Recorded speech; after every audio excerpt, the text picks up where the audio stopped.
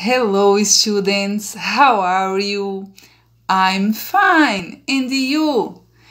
Students, a teacher espera que vocês estejam bem, que vocês tenham gostado da história que a teacher contou sobre a Nature, que tenham entendido ela. Então a gente vai estudar e trabalhar a Nature. E para trabalhar a Nature, a gente vai fazer o quê? Uma tree esta foi a tree que a teacher fez com as leaves que a teacher encontrou no quintal da teacher.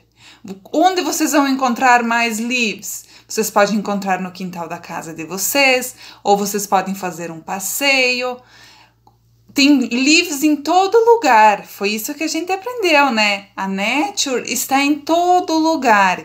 Então vocês podem encontrar livros de outras colors, de outros tamanhos e podem fazer a colagem. No tronco vocês podem desenhar ou fazer colagens que nem a teacher fez. A teacher colou pequenos galhos. Ela pegou os galinhos da, da tree quebrou em pedacinhos e fez a colagem, mas vocês podem fazer usando a sua criatividade, tá?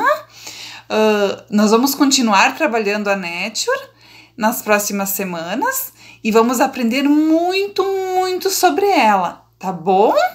A teacher quer ver fotos ou vídeos do trabalho de vocês, ou vocês podem mandar um áudio falando esse vocabulário novo que a gente aprendeu, que é tree que é o que a teacher fez, que é leaves, que é o que a gente usou para fazer a tree, e a nature, que é o que tem ao nosso redor.